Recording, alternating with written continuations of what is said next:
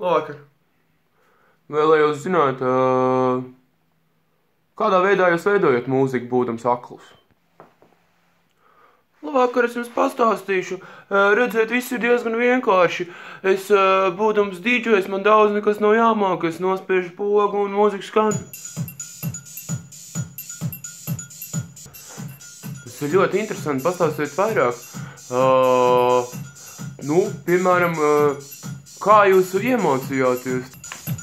Redziet, būdams dīdžers, man daudz nekas nebija jāmācās. E, tik daudz kā jāielādē mūziku, jānospiež pogu, skatieties, nospiedīsim citu pogu, un arī būdams akls, es varu būt labs dīdžers, klausēties, jā, aizgāja, aizgāja, jā, jā, aizgāja, jā, riktīgi, jā. Bet jūs noteikti esat mācījies uh, kādā mūzikas skolā vai, vai apgūst kādu uh, mūzikas teoriju, jo, jo, uh, lai būtu liels un savants mūziķis, jums noteikti ir uh, zināšanas mūzikā, jaunas cilvēks.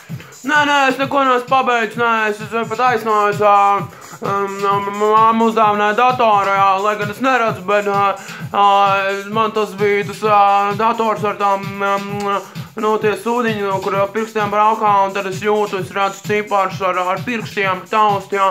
Un, un tad es domāju, nu, metālu es nespēlēšu, jo es nevaru paspēlēt, jo es ne, neredzu ģitāru, un, bet es varu kļūt par DJ, jā. Un viss, kas man jāizdara, es nospiež, es, es, es pārēc atrodu pogu, jā, es nospiež pogu, un breiks aizgāja, jā, jā, jā, mm, mm, mm, mm, mm, mm. Ļoti interesanti. Jā, jūs gribat teikt, ka, kad, lai kļūtu par elektroniskās mūzikas producentu, tad nemaz nav, nav jāmāk mūzika, nemaz jā. Melns parāds, ka es jums saku, skanēties, es, no, es esmu paspējuši vēl vienu pogu, un, un viss aiziet ātrāk, viss aiziet ātrāk, ja?